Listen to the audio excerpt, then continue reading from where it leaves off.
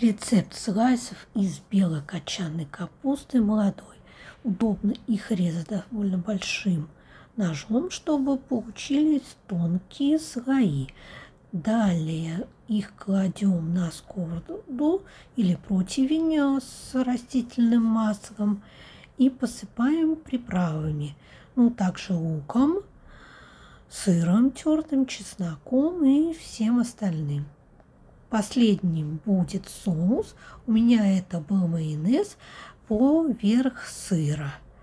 Получается очень вкусно, готовится достаточно быстро, если не считать сам способ нарезки. Ну, то есть где-то минут 30-35 в духовке предварительно разогретый.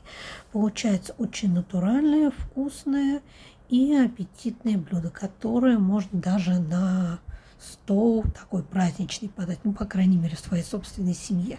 Могу вам его рекомендовать.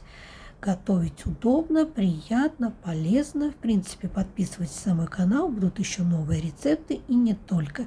Всем спасибо за внимание, ставьте лайки или дизлайки и ждите новое, оригинальное и необычное.